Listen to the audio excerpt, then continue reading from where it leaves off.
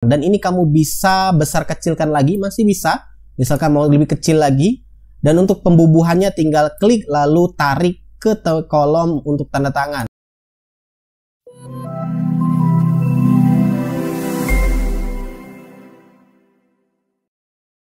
Halo Gan, welcome back again dengan Adi di sini dari racikpc.com. Ya, ada yang bertanya di kolom komentar soal untuk pembubuhan tanda, tangan di sebuah surat lamaran atau mungkin surat pernyataan ya. Mungkin beberapa dari kamu, ya admin buka dulu aja supaya lebih paham.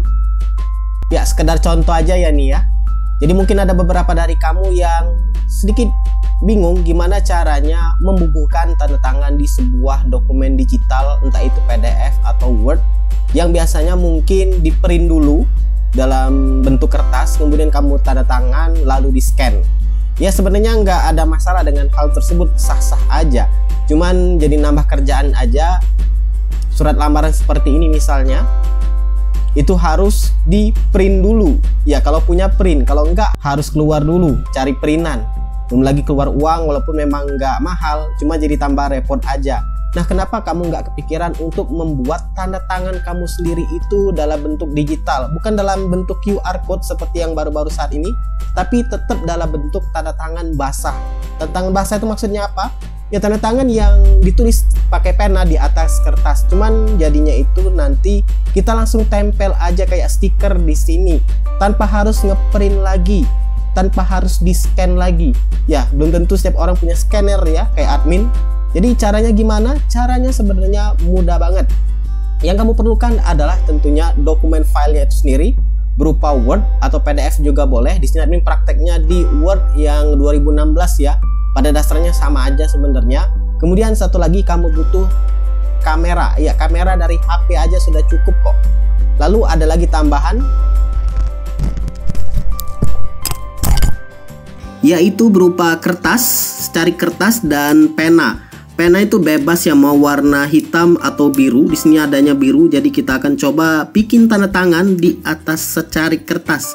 Kertas yang bersih dan pastikan sinar cahaya itu masuk. Nggak kamu sinar pakai flash di HP ya. Jadi misalkan sinar matahari atau sinar lampu yang terang supaya nanti pada saat proses di foto tanda tangannya ini benar-benar bersih. Usahakan juga untuk menggunakan kertas yang bersih karena nanti cukup berpengaruh ya jadi admin akan coba bubuhkan tanda tangan di kertas ini, di secari kertas ini.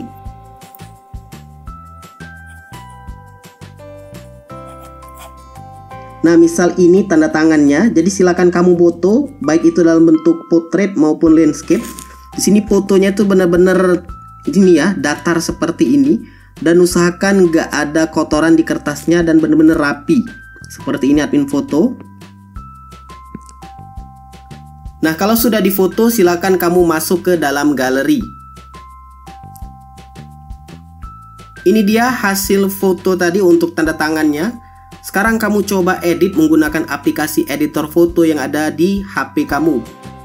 Edit aja pakai aplikasi bawaan karena kita hanya sekedar memotongnya.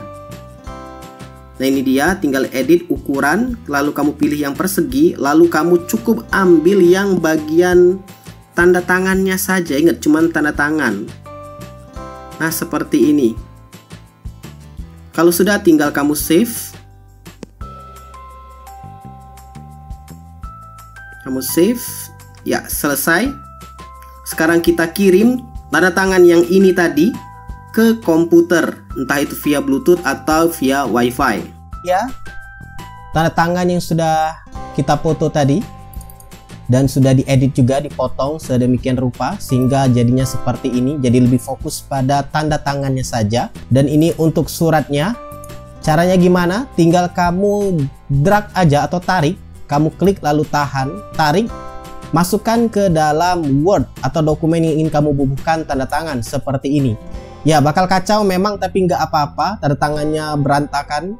Kamu klik kanan aja pada foto tanda tangan ini. Kamu klik lalu pilih picture. Ini dia. Nanti akan muncul opsi seperti ini. Nah, kamu pilih yang ini, layout. Kamu pilih yang behind text. Kamu klik. yang ini horizontal alignment kamu pilih center atau bebas sebenarnya nggak ngaruh kok nah ini dia dia akan kembali lagi tulisannya ke atas dan akan menimpa tanda tangan tenang aja ini masih bisa digeser-geser ini dia masih bisa digeser ke mana pun jadi bebas Kemudian kamu kecilkan tanda tangan ini, kamu arahkan ke salah satu sudutnya ini sampai muncul panah seperti ini. Lalu kamu kecilkan sesuai dengan yang kamu inginkan ukurannya ya. Misalkan seperti ini. Atau kalau mau lebih kecil lagi boleh.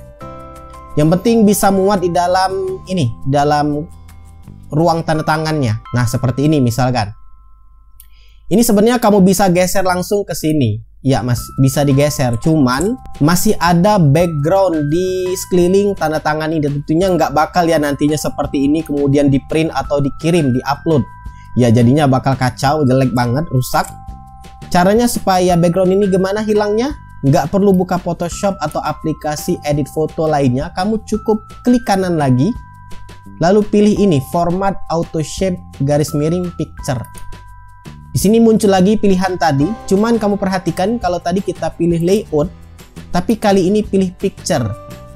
Nah, di sini ada crop from, di sini juga ada image control. Di sini ada pilihan color, default opsinya itu automatic. Kamu klik panah bawah lalu pilih black and white. Kamu klik.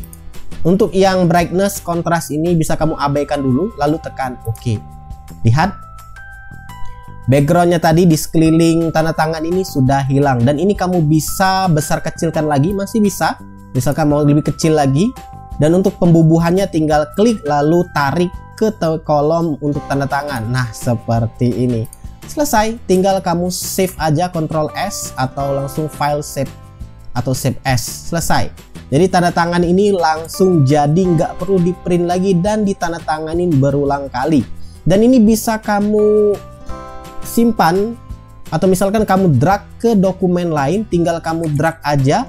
Misalkan buka dua word atau dua surat kamu tinggal drag atau juga bisa klik kanan lalu pilih copy lalu kamu pastekan ke dokumen lain karena ini sebenarnya bisa copy paste ya gak hanya sebatas pada satu dokumen ini aja jadi sekarang sudah bisa ya tanda tangan di sebuah dokumen tanpa harus ngeprint dan tanda tangan manual dan itu merepotkan harus di scan, harus di print dan lain sebagainya. Semoga bermanfaat. Silahkan like, subscribe dan bagikan channel ini ke teman-teman kamu. See ya.